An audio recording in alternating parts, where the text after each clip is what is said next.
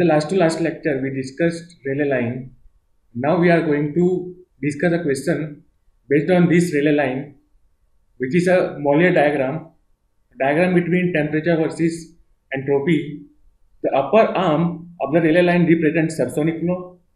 The lower arm of the Rayleigh line represents supersonic flow and the point of maximum entropy is point A and which occurs Mach number equals 1. And there we considered a case in which a subsonic flow is being heated. We are adding heat to a subsonic flow. What will happen? Its Mach number increases and finally reaches to Mach number equals 1. As well as when we add heat to subsonic flow, its static temperature increases. Static temperature T increases.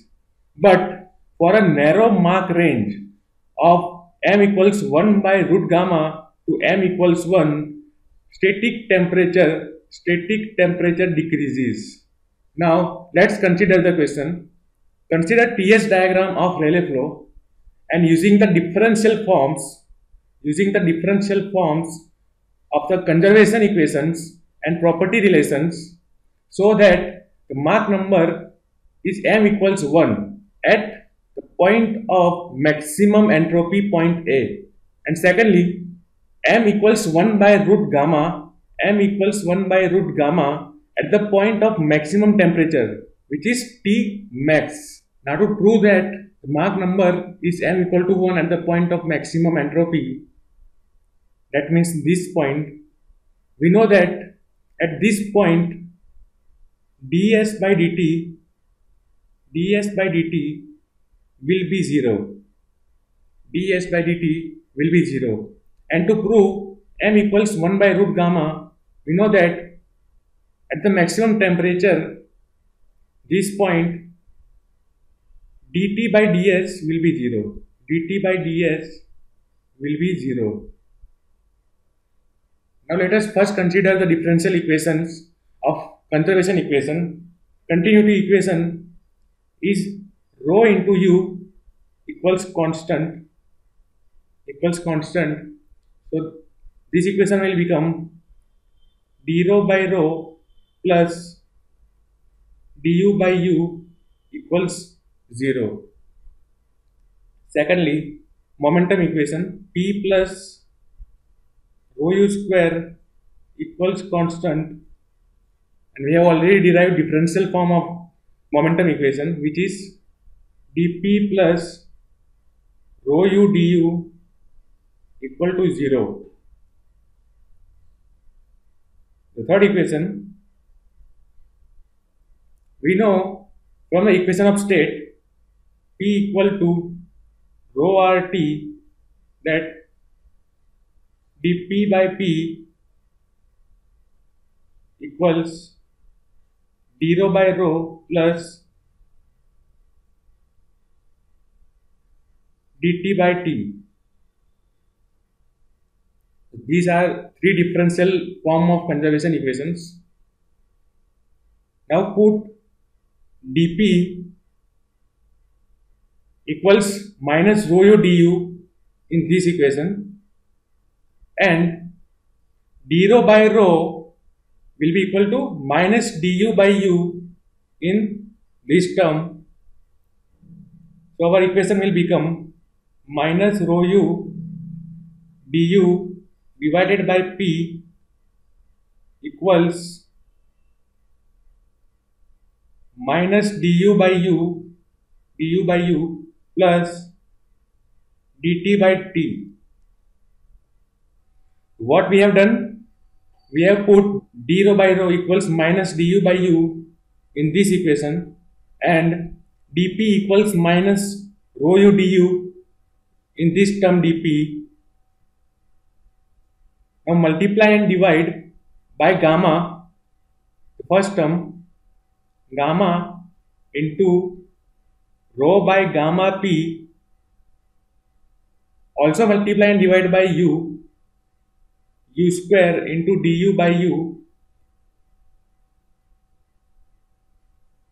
equals minus du by u plus dt by t.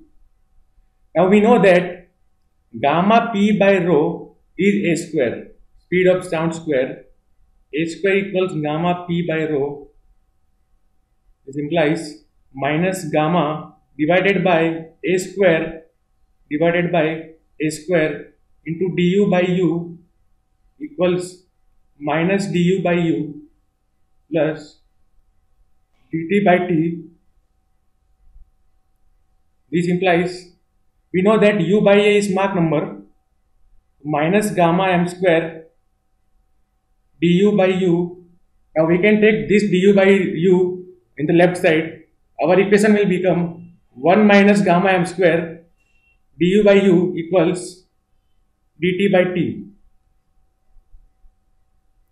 Let us call this equation equation number 4. Let us write down TDS equation. TDS equals CV dt plus PdV.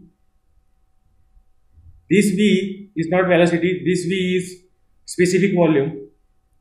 We know that V equals 1 by rho and dV will become minus 1 by rho square into d rho. Put this dv in this equation. TDS will become, we know CV equals R upon gamma minus 1 into dt plus P into minus 1 by rho square into d rho now let us divide this equation by t. Ds equals r upon gamma minus 1 into dt by t plus p by t into d rho by rho. Here is rho square. So rho minus sign we know that d rho by rho is minus du by u. That means minus d rho by rho will be plus du by u plus we also know that p equal to rho rt from the equation of state p equal to rho rt so p by rho t will become r. So p by rho t is r into d rho by rho which will become du by u. Now from the equation number 4 we can put du by u equals dt by t into 1 by 1 minus gamma m square ds will become r upon gamma minus 1 dt by t plus upon 1 minus gamma m square into dt by t. Now let us divide this equation by dt and take common r by t.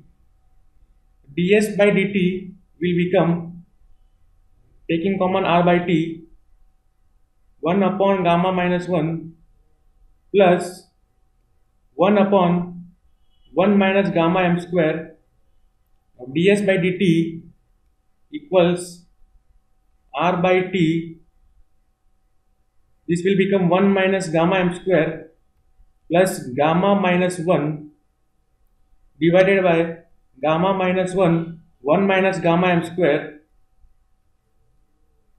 So finally our ds by dt will be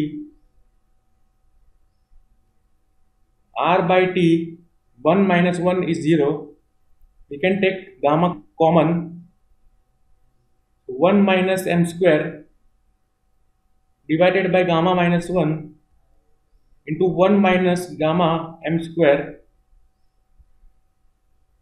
So this is our ds by dt. Now look again on the graph. To prove Mach number 1 at the point of maximum entropy, ds by dt equals 0. And to prove that Mach number equals 1 by root gamma, dt by ds will be equal to 0. So from this equation when we put ds by dt equals 0 ds by dt equals 0 this will imply 1 minus m square equals 0 this implies Mach number will be 1 and if we put dt by ds equals 0 dt by ds equals 0 we will left with gamma is not equal to 1 but this may be 0 1 minus gamma m square equals 0 this will imply Mach number equals 1 by root gamma. Hence proved